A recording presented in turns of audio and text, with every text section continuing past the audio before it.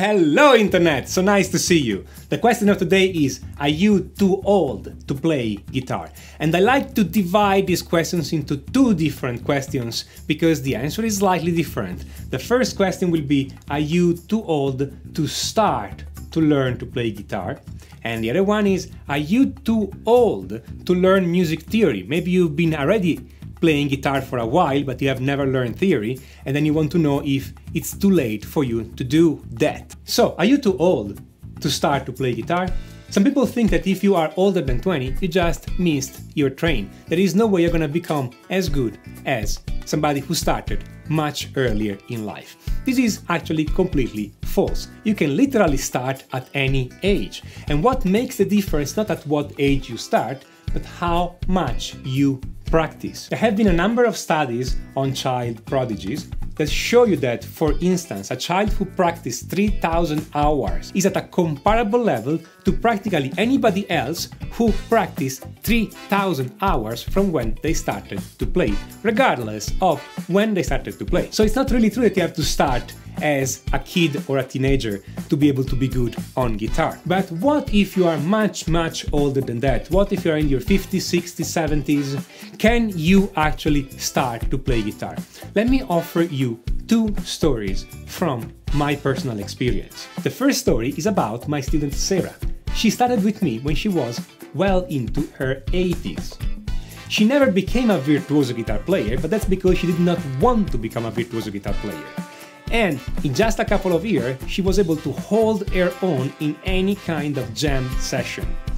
She was really good. She could play a lot of things. She had a lot of fun with that guitar. The second story is about my student John. He came to me when he was 77 with already 3 years of experience with another teacher.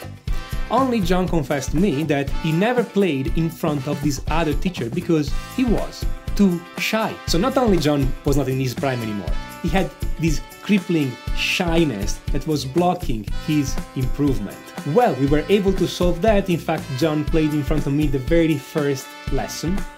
And then, little by little, I actually had John play in front of an audience. And he became fairly good. Now, the story doesn't end here because John did not tell me of another problem he had. 10 years before he came to me, he was in an accident and he actually lost the thumb of his right hand, which was then reattached. And I noticed because his picking hand was particularly weak, and whenever I asked him to play stronger, to pick stronger, he couldn't do it. Until one day he told me, Yeah, I can't pick stronger because I have this problem my finger has been reattached. The message here is that it doesn't matter how old you are or what kind of problems you have, even physical problems, there is a way around them. So don't feel like it's too late for you. There is still a lot of fun to be had by learning how to play guitar, and you can become very good at it, even if you start late. The second question is if you can start learning music theory, even if so far you've been playing by ear. Will this change your way of thinking? Will this make you a better musician or will make you a worse musician? Well, let me offer here the story of Nick. Nick was not one of my students. Nick was a composer, and a composer that worked exclusively by ear. He composed pieces for orchestra without knowing a shred of theory. Which is incredibly good. Nick had this kind of superior hearing, whether for natural talent, whether because he practiced it, but he had this kind of superior hearing, and he was able to do that. In fact, he became quite famous and had his pieces played by a few orchestras he, without knowing any theory at all, he composed two large-scale pieces before he learned any theory. What happened to Nick, though, is that at a certain point in his life, when he was 27, the local conservatory offered him a professorship. So he had this kind of a problem because, I mean, how can you teach at the, at the conservatory if you don't know your theory?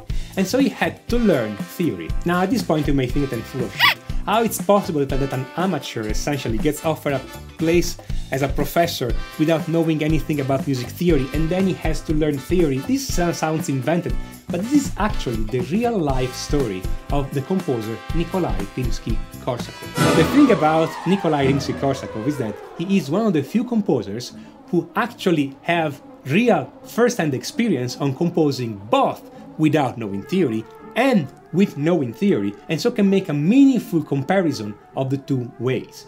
And what Rimsky-Korsakov writes is that composing by knowing theory is definitely absolutely superior. In fact, after learning all his theory, he revised his previous composition to make them better because at this point he could hear more, he could understand more what he was doing, and he made those two pieces much better. This is not what I say, this is what he writes in his diaries. Again, to be honest, this happened to Nikolai Rimsky-Korsakov when he was 27, hardly an old man. But this can happen anytime in your life. There is never a moment where your brain stops working and then you cannot study theory anymore. And when you study theory, you just improve on everything you have. If theory is taught to you in the right way, theory will not block you, theory will take what you already know and make it better and better and better and better. If you want help to learn theory in this constructive way, and where it helps you getting better, I do recommend my courses Master of the Mode and Complete Chord Mastery. In Master of the Modes, you learn how to play scales and modes and how to use them in improvisation over every chord progression. In Complete Chord Mastery, you learn about chords and chord progression and how to use them in your composition and how to play interesting things from a chord chart. You can use those courses and everything you learn will make you better. There is never a moment where I tell you that you cannot do this or you cannot do that. Theory is not made of revision, theory is not made of rules, theory is made of tools that make you a better musician. That's the way it's supposed to be. Theory is supposed to help you become a better musician, not restrict you. So, what do you think of all this? Is there ever a moment where you are too old to learn something new? Share your experience in the comments. I want to hear from you. And if you like this video, click on that like button or smash on it. I will not hold it against you. And if you like this channel, subscribe to it and make sure to click on notification so YouTube will let you know whenever I put up a new video.